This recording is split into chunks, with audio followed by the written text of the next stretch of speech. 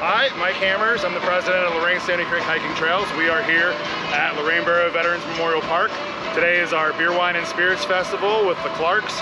So we have all day of breweries, wineries, distilleries, and other uh, adult beverage vendors from the local area. A bunch of bands, food trucks, and regular vendors coming out here today. This is our biggest fundraiser of the year. This is what helps keep our nonprofit afloat for the whole year.